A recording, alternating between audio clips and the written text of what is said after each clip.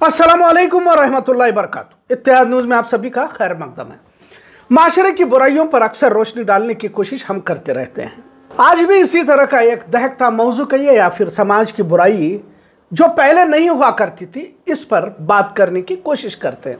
खसूस खातिनों में अखलाक की गिरावट का मियार रोज़ाना गिरता जा रहा है, देखने को मिल रहा है। यकीन आखिरी दौर या दौर फितन कह सकते हैं और नबी रहमत सल्लल्लाहु अलैहि वसल्लम ने कई सारी पेशिंग गोइयाँ इससे पहले भी बताइए ताकि हम इन बुराइयों से बच सके। पर हम सब कुछ जानते तो हैं, पर समझते नहीं है। और अगर समझते हैं तो अमल नहीं करते। खैर, हाल ही में कर्नाटक में कुछ वारदातें पेश आई, जिससे औरतों की अखलाकी गिरावट की इंतहा तक पहुँचना समाज को किस दिशा में ले जा सकता है? मजीद अफसोस की बात यह है कि अब मुस्लिम समाज की भी खातन अपने मौकूफ से भटकती जा रही है। दुनिया में आज भी इस्लाम सबसे ज़्यादा तेज़ी से फैलने वाला मज़हब है।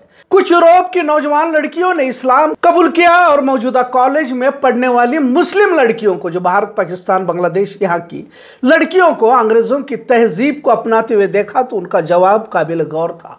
उन्होंने कहा कि जिस यूरोप की तहजीब को हमने थूक कर इस्लाम की पनाह में पहुँचे, इस्लाम कबूल किया, उसी थूक को कुछ मुसलमान लड़कियाँ, जदीदियत या मॉडर्नाइजेशन समझकर उस थूक को चाट रही हैं।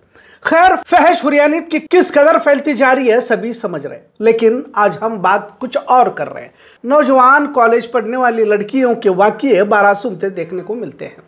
कुछ खातिनों ने शादी के बाद भी गलत रास्तों को न सिर्फ़ इख्तियार किया हुआ है, बल्कि एक तरह से कुछ गिने चुने औरतें ऐसी पाई जा रही हैं जो रुपये कमाने का ज़रिया बना लिया। हाल ही में कर्नाटक हाई कोर्ट में एक खातून ने छह लाख रुपए महीना मेंटेनेंस देने की दरखास्त की, जिस पर जज साहिबा ने तारीख फैसला सुनाते हुए क्या कहा यह भी काबिल तवज्जो है। वीडियो आप देख सकते हैं कि किस तरह महिला जज ने लथाड़ा उस खातून को और उस खातून के वकील ने कहा कि, मेरी क्लाइंट महँगे लिबास, जूते पहनती है और महीना पंद्रह हज़ार तो घर में खाने के ही और साठ हज़ार रुपए फिजियोथेरेपी के लिए पाँच लाख। इस तरह तकरीबन साढ़े छह लाख महीना देने की मांग की। जिस पर जज साहिबा ने कहा कि इतने महँगे शौक अगर वो रखती है तो खुद क्यों नहीं कमाती?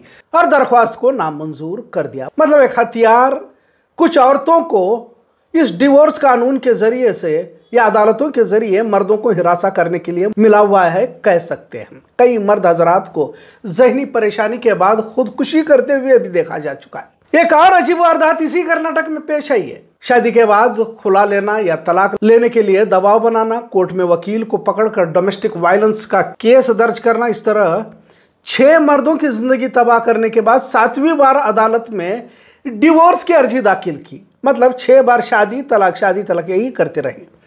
जज को ही शक आ गया और उसने खातून की तफ्तीश की तो तमाम मामला सामने आ गया इन दो मिसालों का ज़िक्र इसलिए कर रहा हूँ कि कुछ घर तोड़ो एजेंट भी बड़े पैमाने पर शहरों में आबाद हो चुके हैं और वो बढ़ते ही जा रहे ऐसा नहीं कि सिर्फ़ खातन ही गलत है और तमाम मर्द शराफत के पुतले हैं, लेकिन जिस कदर समाज में खातनों का तसल्लुत और बढ़ती आज़ाद ख्याली की आड़ में खुला तलाक की आंधी देखी जा रही है पोटगी मेंटेनेंस और कानून में औरतों को एक तरह का झुकाव कई मर्दों के लिए वबाले जान बना हुआ है। बजाय बेहतर ज़िंदगी जीने के अब रुपये कमाने का ज़रिया कुछ खातन बना रहे अल्लाह रब्बुल इज़्ज़त ने खातनों के कई हकूक पर कई आयतों को नाजिल किया। शर्म हया औरतों के जेवर बताए तो जंगी हथियार मर्दों का जेवर कहा गया।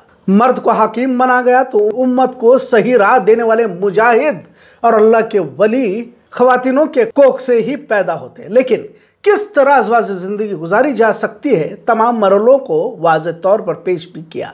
दुनिया का वाहिद मज़हब है जो इतनी तफसीलात के साथ माँ की कोख से कबर की कोख तक के मरले बताए गए वो इस्लाम है। अच्छे बुरे वक्त में सब्र और शुक्र का दामन कैसे थामा जाए, इसकी तालीमत भी पेश की गई। लेकिन मौजूदा दौर में तमाम हदूद पार करते मर्द खातन देखे जा रहे हैं। शादियाँ तो बड़े धूमधाम से हो जाती हैं। अभी कर्जा मुकम्मल भी नहीं होता, लेकिन कितनी कामयाब होती है, इस पर सवाल उससे पहले ही खड़ा हो जाता है। वालदेन, कभी एक दौर ऐसा था कि अपने लाडली की शादी के बाद इतमान से रहते थे, पर अब शादी के बाद कब लड़की वापस पलट कर घर आती है, इसका कोई भरोसा नहीं है। अक्सर बेशतर तलाकुला के लिए खुद लड़की की माएँ ही जिम्मेदार देखी जा रही है। एक रिपोर्ट है इस तरह की। उल्टी सीधी पट्टी पढ़ाकर खुद माँ ही उसके तलाक का ज़रिया बनती है। इस तरह की भी बात सामने आ चुकी है। इन तमाम के दरमियान अब, अब शादियाँ भी रुपये कमाने का ज़रिया बनती जा रही है। तो किस इंतहा तक इस दौर की खातून चल पड़ी है समझने की ज़रूरत है। नए जमाने में ऐश परस्ती मादा परस्ती होटलों का खाना बाहर घूमना गार्डन पिकनिक पिज्जा बर्गर ने अक्सर घरों के सुकून को छीन लिया है। कुछ ऐसे मसाइल हैं जिन्हें बड़ी संजीदगी से समझने की ज़रूरत है। दीनदार समझने वाले घर भी इस नवसत से बचे नहीं है। लिहाजा मर्दों से शादी करके तलाक खुला का ही बाज़ार कुछ खातनों की जानब से लगाया जा रहा है। इस तरह की बातें भी सामने आ रही है। इसके एजेंट भी अब जिंदगियाँ बर्बाद करके लाखों कमा रहे हैं, इस तरह कहा जा रहा है। हम अपने बेटियों को कॉलेज तो भेजते हैं, पर पढ़ाई के नाम पर घरों के साथ भाग जाकर भगवा लव ट्रैप का शिकार होना और ज़्यादा इल्म हो गया है तो फिर लिविंग रिलेशनशिप में भी बदकारी को सही कहते हुए बरसों गुजारना। और अगर कुछ शादीशुदा है भी तो इज़्ज़त के साथ ज़िंदगी गुजारने की बजाय व्हाट्सएप फेसबुक और दीगर सोशल मीडिया के ज़रिए से खुद ही ज़िंदगी तबाह कर लेना, यही देखते थे। और अब कुछ नई मिसालें कि शादी के नाम पर ही मर्दों को फंसा कर रुपये लूटना और मेंटेनेंस के मुकदमे दर्ज करना, लिहाजा कुछ वाक्य मंजर आम पर आ रहे हैं। और अदालतों में भी इस तरह की वारदातों की दखल ली जा रही है। ऐसा नहीं कि इस तरह की जो साजिश कर रहे उन्हें छोड़ा जा रहा है। तहकीब, तफ्तीश करने का भरोसा भी अदालतों की जानब से दिला जा रहा है। पर इतना ज़रूर है कि महिलाओं को लेकर कुछ हद तक नरम रवैया समाज में देखने को मिलता है। कुछ मर्दों ने यकीनन जालिमाना हरकतों को अंजाम देते हुए कुछ औरतों की ज़िंदगी को जहन्नम बनाया है और पहले भी देख चुके हैं, आज भी देख के। पर बदलते हालात किसी और तरफ़ इशारा कर रहे हैं। खातिनों में बढ़ती मादा परस्ती आज़ाद ख्याली, आखरत का धुंधला तस्वुर धुंधला क्या न के बराबर। दिलों से खौफ खुदा निकलना एक तरह से माशरे की तबाही के इम्कान है, क्योंकि औरत ही है जो समाज को बनाती है और तबाह भी करती है घरों में बड़े ही संजीदगी से तवज्जो देने की ज़रूरत है जिसे तमाम समाज नज़रअंदाज कर रहा है इतना ज़रूर है आज का मौजू कैसा लगा इस पर ज़रूर कमेंट करें इतिहाद देखने के लिए शुक्रिया अल्लाह हाफिज़ reasonable wants of the claimant, the amount should aid the applicant to live in a similar lifestyle as she enjoyed in the matrimonial home. Why should the court grant reasonable amount? Six lakh sixteen thousand three hundred per month.